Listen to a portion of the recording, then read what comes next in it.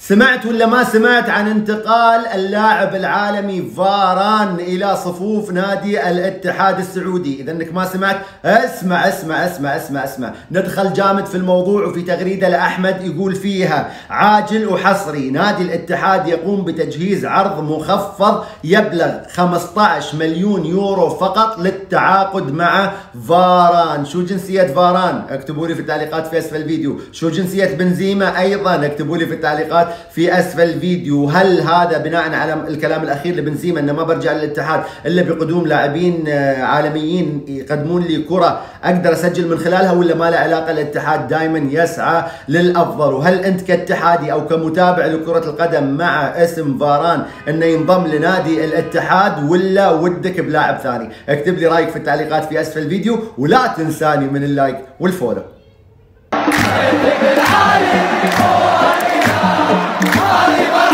Up.